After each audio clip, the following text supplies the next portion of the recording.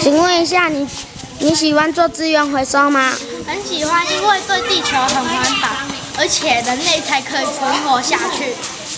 为什么要说存活下去？因为我听说报道说，石油再用六十年就没了。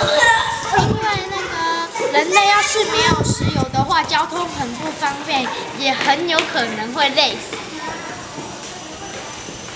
为什么嘞？一开始一开始不是不是八田雨衣盖屋三头水库的时候，他都用人力，不是不是他们也可以盖起来？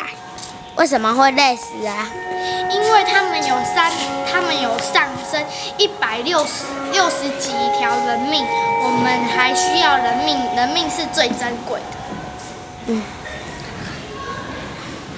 你，请问一下，嗯你对你对资源回收有怎么感受？我觉得做资源回收可以保持心情良好，要是。要是心情不好的时候，我们可以去做资源回收，让心情更好，然后还可以为地球尽一份心力。谢谢。